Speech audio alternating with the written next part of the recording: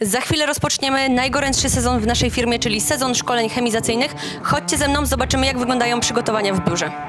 Zaczniemy od serca i mózgu całego zespołu, czyli od pokoju naszego szefa Daniela, który oprócz tego, że jest właścicielem firmy, to sam również jest instruktorem. Danielu, chciałabym zapytać, jaki jest podział zespołu, jeżeli chodzi o organizację szkoleń chemizacyjnych? Chyba dobrze trafiliście z tym pytaniem, e, bo wszystkie szkolenia rozpoczynają się od ich zaplanowania i aktualnie właśnie się tym zajmuję i mam dylemat, e, na jakie województwo się zdecydować, czy łódzkie, czy wie- wielkopolskie. E, Jak wygląda organizacja? No, rozpoczynamy właśnie od planowania e, tych szkoleń, gdzie następnie dziewczyny tutaj zajmują się organizacją, chociażby od, poprzez rezerwację sal, informowania rolników o szkoleniach, mm, no i później finalne zakończenie, czyli szkolenie. Paula, widzę, że za tobą jest mapa. Czy to przypadek? Nie, to nie jest przypadek, ponieważ y, organizujemy szkolenia na terenie całej Polski. Siedzibę mamy w Lublinie, natomiast y, mapa to podstawa. Musimy na niej pracować, żeby wiedzieć, gdzie jesteśmy. A jaki jest plan na najbliższe dwa tygodnie? Czy mogłabyś nam pokazać, gdzie będą szkolenia? Jak najbardziej chętnie Wam e, pokażę, gdzie będą najbliższe szkolenia.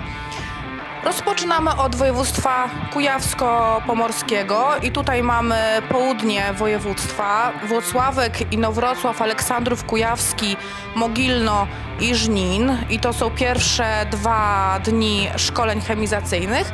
Natomiast w kolejne dni przynosimy się na województwo lubelskie, tutaj nasze najbliższe gminy, województwo mazowieckie, następnie przenosimy się na województwo wielkopolskie.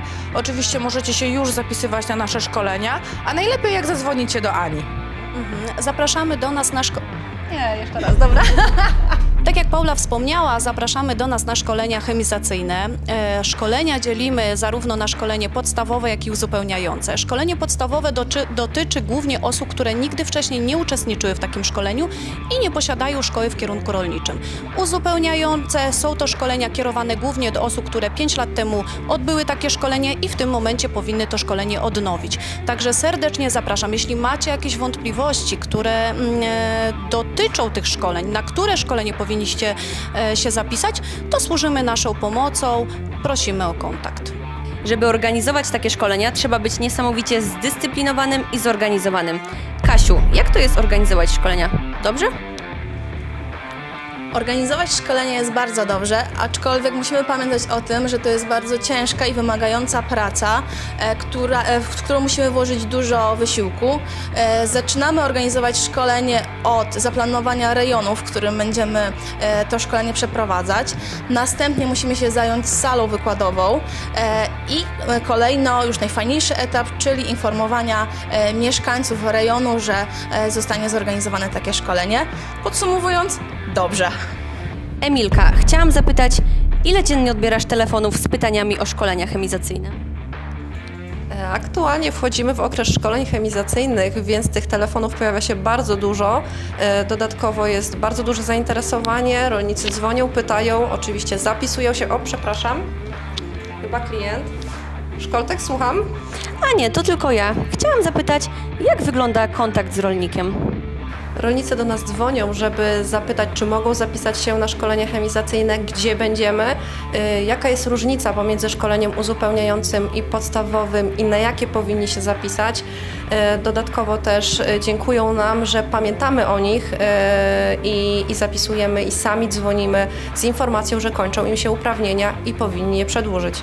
Tak jak mówiliśmy na początku, bardzo ważna jest ta współpraca biura z terenem, dlatego teraz pójdziemy do pokoju naszych instruktorów, no i zapytamy, jak to wygląda z ich perspektywy. Jareczku, przepraszam, jak już tu od razu jesteś, powiedz mi, co najbardziej podoba Ci się w prowadzeniu szkoleń chemizacyjnych? Na pewno spotykanie nowych ludzi. Kolejna rzecz, praca ciągła, nowa, tak? No i kolejna rzecz, integracja z kolegami po szkoleniach i praca z biurem. Adrianie, czy czujesz się wystar- wystarczająco zintegrowany z Jarkiem? Po sezonie urlopowym nie, ale mam nadzieję, że chemizacja to zmieni. A jak już tutaj też e, od razu jesteś, wykorzystam i zapytam, co Tobie się podoba najbardziej w tym sezonie chemizacyjnym? No, najbardziej oczywiście podoba mi się integracja z resztą ekipy, chyba to jest oczywista rzecz. Naszych charyzmatycznych instruktorów już poznaliście, a jeżeli chcecie spotkać się z nimi bezpośrednio na szkoleniach chemizacyjnych, to dzwońcie pod ten numer telefonu.